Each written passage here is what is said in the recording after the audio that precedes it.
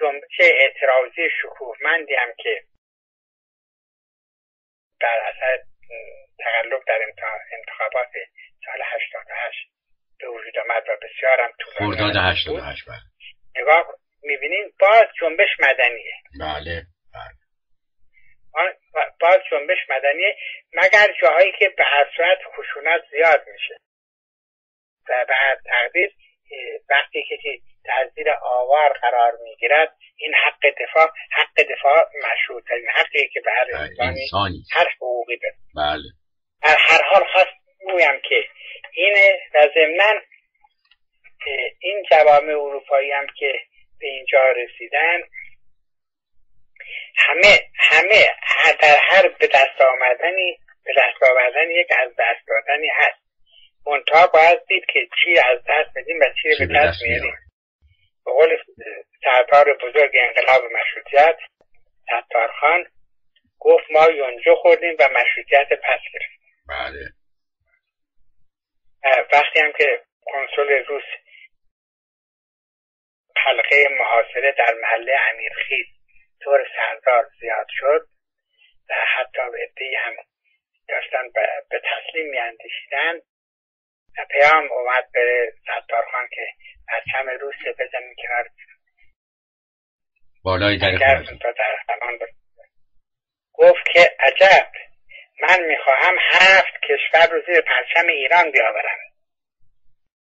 حالا تو آمده می‌گویی که من بیام زیر پرچم بیگانه و تفنگ معروف برداشت و همه توی گوشه کناری که پرچم های سفید افراشته شده بود اون پرچم ها رو زد. بله. رود بر سردار ملی باد که یادش همواره گرامی همیشه بله. و البته البته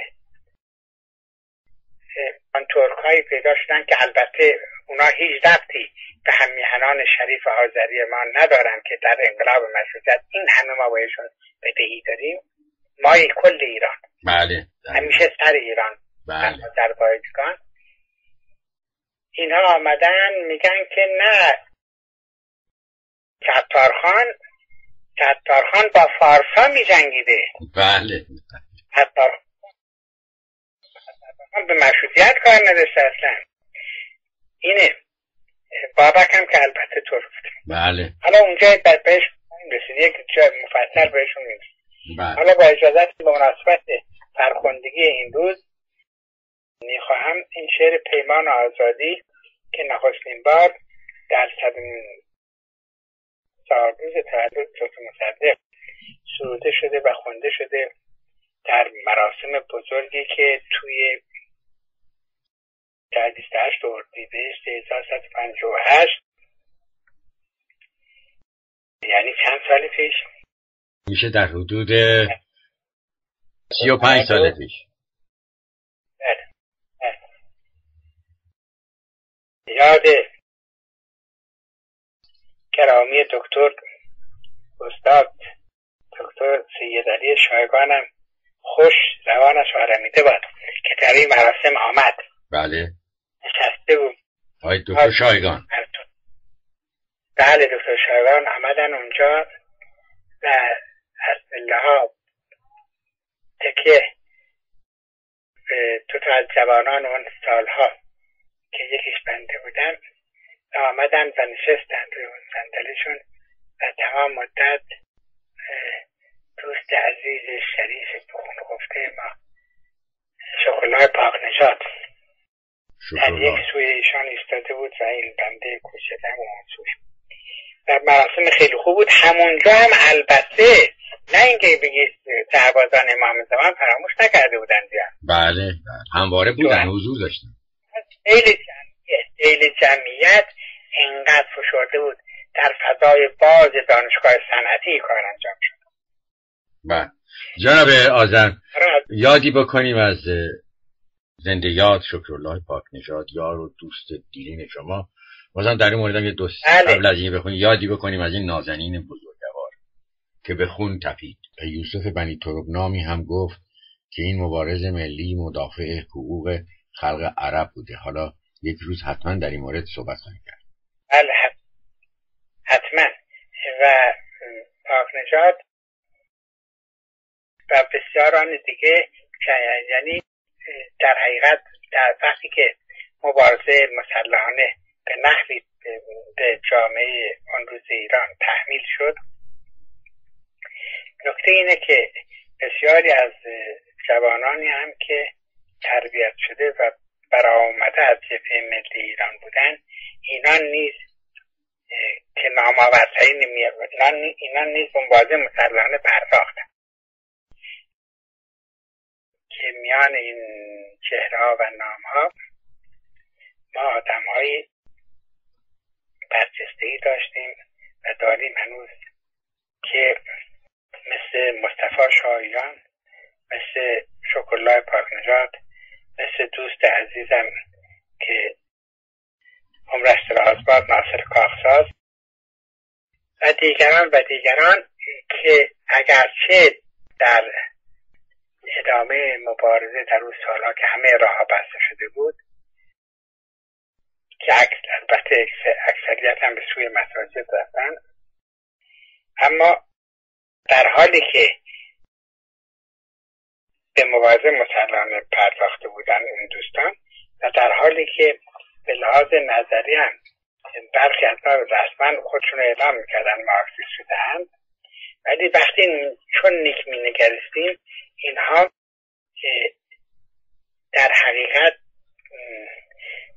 بند نافشون به جنبش ملی ایران وابسته بود. بله. یعنی ما اینا هیچگاه چپ اردوگاهی نشدن. اینا چپ مدرن ایران شدن چپ نو شدن بله. چپی که از درون حزبی که یک سرتش یک سویش هم داستان آل آذربایجانه از اینجا نبودن بله. برای پاک نجات من می‌کنم که که روحش شاد می‌توانیم اینجوری بگیم که اتفاقا در همین نکته ظریفی که الان من بهش اشاره کردم این نکته دیگه هم هست که همین پاک نشاد که به زندان به اعدام محکوم شده به بابت اون محاکمه طولانی که علنی هم بوده. همه اینا. بعد یک درجه تخصیب به زندان حضرت بله به جرم تشکیل گروهی به نام فلسطین که به این نام نامیده شد به خاطر اینکه اون روزها اون سالها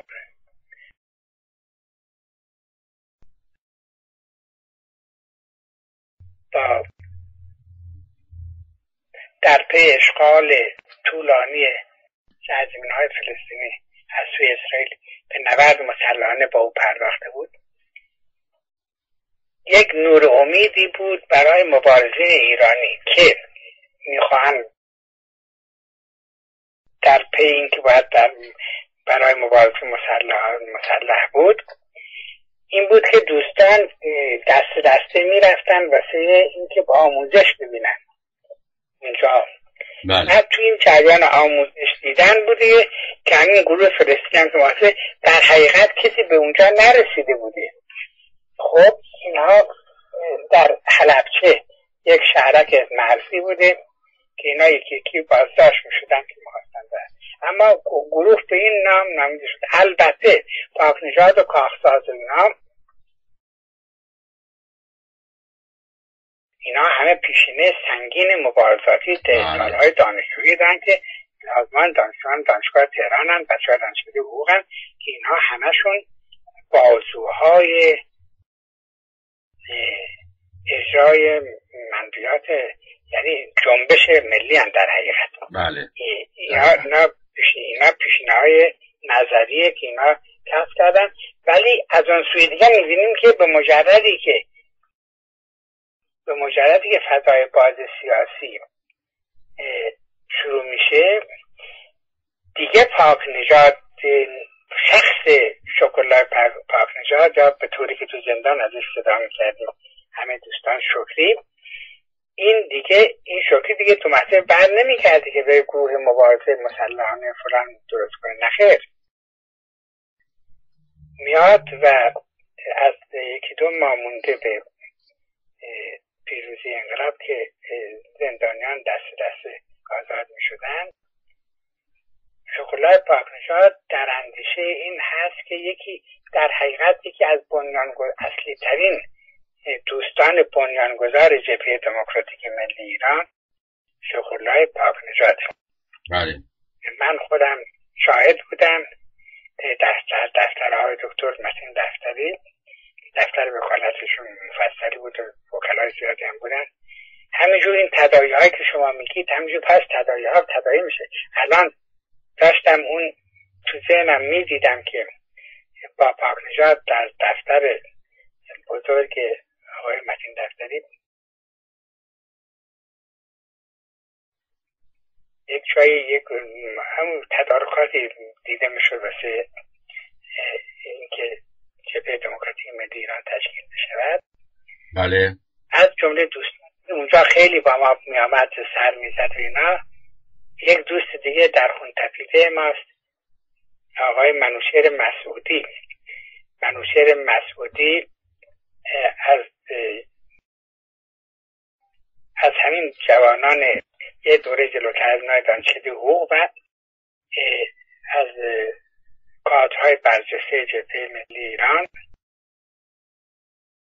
بله. همون که در ریاست جمهوری آقای بنی سرد مشاور حقوقی ایشان بود بله.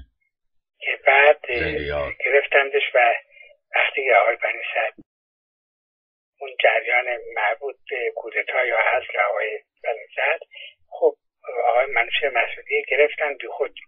البته برای آخوند کشتن آدمیان همچنان است که لیوان ها برداره بخورد بله.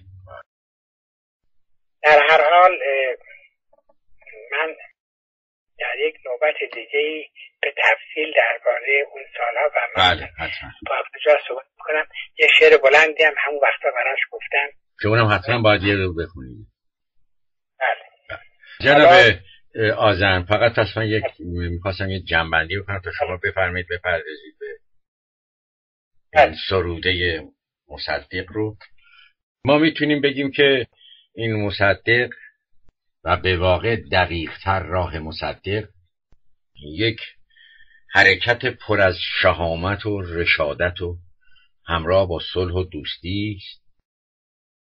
این نه از آسمان آمده نه معجزه است فقط که یک, یک راه و بعد مصدق نهاد خرد سیاسی اخلاقمند برای اداره حکومت ها در جهان بر اساس صلح و دوستی و عدالت و برابری و رعایت حقوق بشر به راستین. و حق حاکمیت ملی. حتما به خاطری که در تمام اون نزدیک دو سال و نیم حکومت دولت ملی هیچ کسی یک شعار نفرت انگیز علیه ملت انگلیس نشنید. بله. هیچگاه دولت نگفتن نه پرچمی آتش زده شد نه پرچمی لگت کوب شد نه به قرایز خشونت. در وجود انسان که این هم هم ستم هست ترد دیده هیچ تحریکی نشد. نطقه دکتر مصدق هست و حتی اینکه بارها مصدق گفت ما قرامت میدیم. بله بله.